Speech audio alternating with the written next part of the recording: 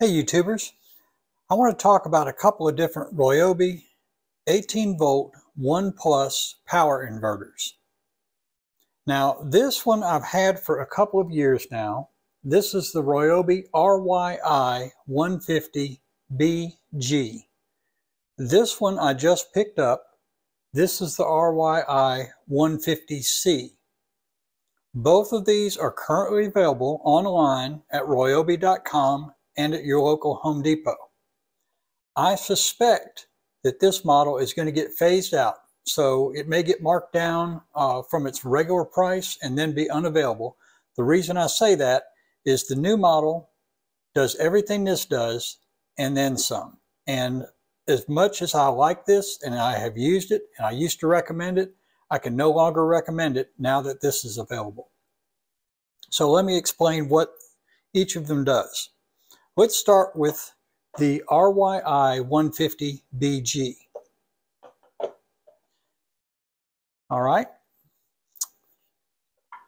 Plug in your 18 volt 1 plus battery, powered on. And now I have a 120 volt, 150 watt power supply here so I can power small hand tools, recharge my laptop, etc. And how long I can supply power depends on the size of my battery. Putting a bigger battery on here, we're still limited to 150 watts. So it helps with runtime, but it doesn't add anything over the 150 watt that this supplies. Okay, I also have two USB-A ports that are both rated for 5 volt at 2.4 amp and there's a small built-in flashlight. This thing really comes in handy if you want to power something remotely. Maybe you don't want to fool with an extension cord or it's not practical to use an extension cord. And it comes in really handy when the power goes out and you want to keep things going. Uh, like I said, I've had this for some time. I've used it quite a bit. I, I like it, but I can no longer recommend it. Here's why. All right, this sells for $99 for the two only. The Ryobi RY 150C sells for 129 It does everything this did. It comes with more stuff and it does things this is not capable of. So let me talk about some of the differences. Okay, for 129 you get the tool you get a battery with the LED power meter. You get a Ryobi AC charger, which is capable of 30 watt through the PD port or 18 watt through the USB-A port, and you get a USB-C cable.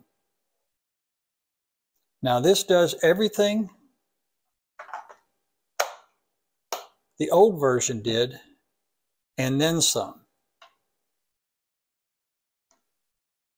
I still have 150 watt of 120 volt power here. I still have two USB-A ports, but they're capable of adjusting the output to fit the needs of your USB-A device. These ports can supply 5 volt at 3 amps, 9 volt at 3 amps, 12 volt at 2.5 amp, 15 volt at 2 amp, or 20 volt at 1.5 amp. And just like the other model, there's a light. Not only does this come with more accessories and a battery, but it does more. The big news is here on the back. Here I have a USB-C power delivery or PD port that can deliver up to 30 watts.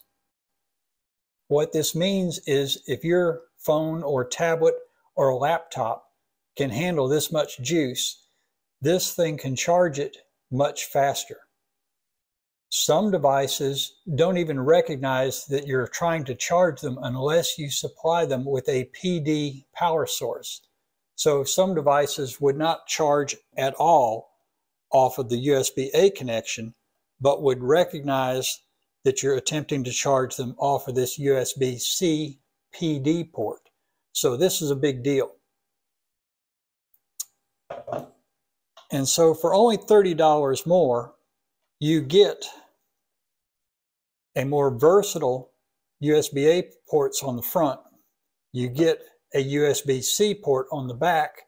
You get this power adapter and cable, and it has one more trick up its sleeve. I'm also going to throw in a bonus tip, so stick around to the end of the video. If I plug that in, plug into the USB port here on the back, and I plug this into an outlet, and I think I can reach my outlet here. Just barely. There we go. This can also recharge your OnePlus batteries. So it also acts as a charger.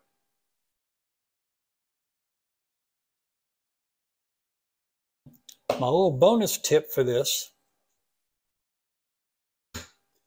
is that I keep this on my workbench plugged into a power strip and I've got an open port here so I have a cable that I picked up online and it has a connector here that will plug into this here.